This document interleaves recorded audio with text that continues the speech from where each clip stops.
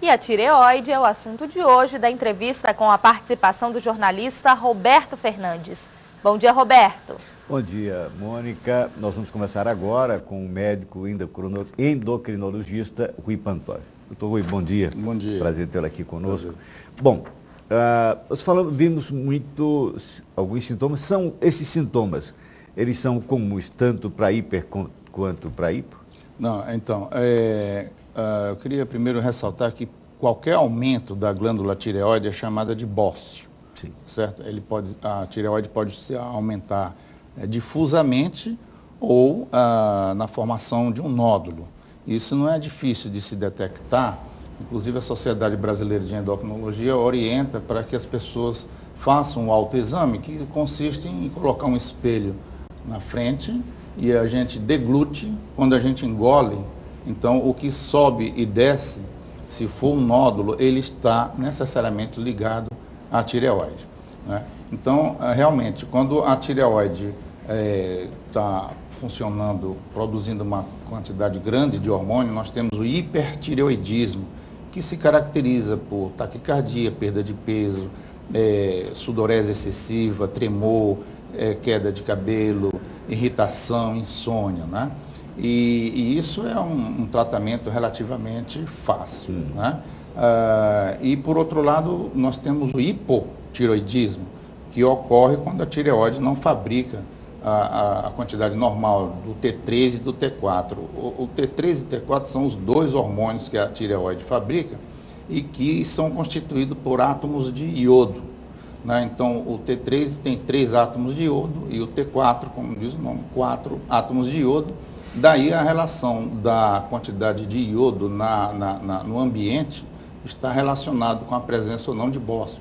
Aqui na nossa região, é, perto do mar, a abundância de, de, de iodo. E, e, então não existe é, o chamado uh, bócio endêmico. Né? Embora exista aqui no interior do Maranhão algumas cidades que apresentem uma alteração de, de, de, de bócio endêmico, mas não dependente da falta do iodo. Bom, nós vimos aqui que uma das pessoas que a nossa reportagem entrevistou fez a cirurgia. Esse é um dos caminhos?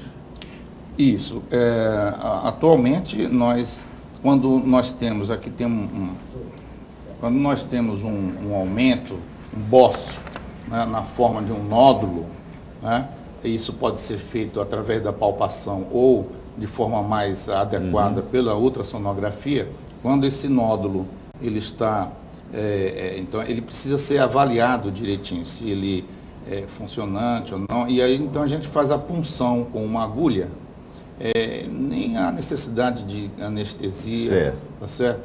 Porque a própria anestesia já é mais dolorosa do que a punção. Do, do então funciona-se o nódulo e vê se ele é benigno ou maligno e encaminha-se para a cirurgia se houver dúvida ou se houver constatação de malignidade. Do contrário, não há necessidade de cirurgia. Mas retirando então a glândula, você precisa ter a reposição hormonal? Claro, porque né? é, é, a glândula ela é grande, é uma das maiores glândulas que nós temos, exatamente porque a, o hormônio é essencial, como falou o colega de, de Imperatriz, é, até os três anos de idade, nós o nosso cérebro se desenvolve muito na dependência uhum. do hormônio tiroidiano e se a intraútero, né, até a partir do terceiro mês é que a, a, o feto passa a fabricar o seu próprio hormônio. Então a mãe tem que transferir para o feto, né, uh, se isso não tiver acontecendo, porque a própria mãe não produz o hormônio, uh, então o feto pode nascer com várias complicações mas a, a, a mais assim que nos dá é a, a, baixa estatura e a queda no QI. Certo. Daí o teste do pezinho. Que é importante. Que é importantíssimo. Olha, até a espectadora Maria de Jesus da Coab pergunta por que as mulheres são mais acometidas por problemas é. na tireoide. É, isso aí é. As mulheres, de um modo geral, têm, têm, têm mais bônus né, do que, do que homens. Porque elas têm 2X, né, dois cromossomas X e um faz backup do outro, para dizer assim.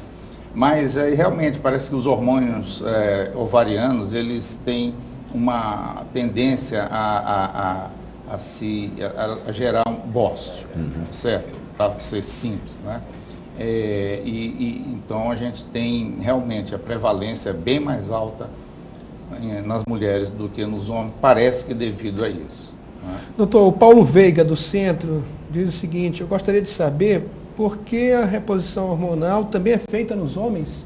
Sim, então se houver a, a retirada de um, de, um, de um nódulo ou da, da, da tireoide toda, ou se a pessoa é portadora de uma inflamação chamada tiroidite de Hashimoto, que leva à destruição da glândula, então é a necessidade de repor aquilo que a glândula não está sendo produzida. Né? Então é, é, é, é fácil, quer dizer, o hipotiroidismo e a reposição do hormônio tiroidiano é um comprimido por dia em jejum para o resto da vida. Né? Então, não, não, na verdade, você não tem a cura, você passa a conviver com, com esta situação e controla bem. Muito bem. É, se fosse para poder escolher uma doença, seria o hipotireoidismo. Doutor, controla com um só, um só medicamento. Só um. Doutor Zé, é o Zé Inácio da Camboa, ele pergunta o seguinte, quando podemos distinguir os sintomas de diabetes e da tireoide? É, essa pergunta é interessante. É, porque realmente a, a taquicardia, a, a, a, sudorese, às vezes acompanha o diabetes descompensado, né? mas o mais frequente é entre hipertiroidismo e ansiedade, certo? Porque tanto o hipertiroidismo pode dar ansiedade, e, e, o paciente pode ter o quadro clínico todo bem parecido com o hipertiroidismo e não ser da tireoide, ser só ansiedade mesmo. Então, aí o, o médico ele, ele tem que examinar direitinho o paciente para fazer o diagnóstico diferencial. Doutor Rui Pantoja, muito obrigado. Foi um prazer imenso tê-lo aqui conosco. Prazer também. Soares, Janaína. Obrigado, Roberto.